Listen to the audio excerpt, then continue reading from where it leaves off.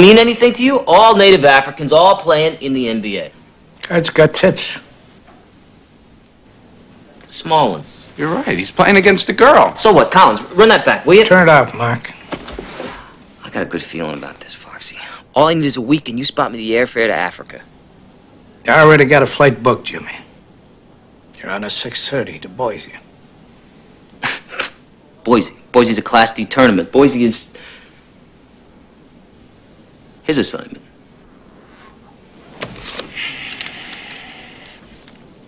Change of plans.